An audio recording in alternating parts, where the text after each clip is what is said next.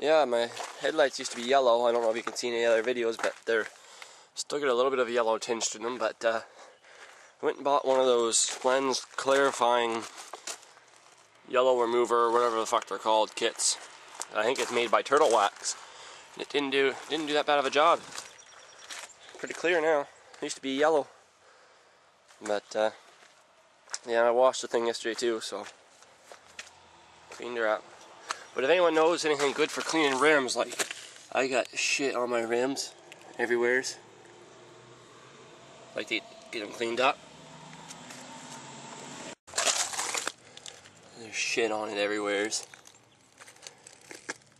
So if anyone knows of a good cleaner or something, get them cleaned up. So she needs a little bit of paint and stuff anyways. She's she's chipping. So but yeah, I'm quite happy with those headlights. I mean, it's not perfect, but yeah, looks good. Also, I'd like to show you Buddy's truck here he's working on. He bought that thing and it was, uh, well, that's what it looked like when he bought it anyway, so. And now it looks like that, so. He's got a lot of work into her and he's new tires on her and, uh, I don't know what all he's got for tires, but whatever he's been working on her steady and he's we're trying to get her ready for prom. So I'll hopefully I'll get some video of that up in the next two or three days.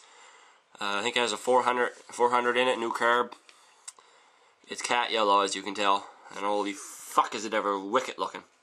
So yeah, I'll get some video of that up for you.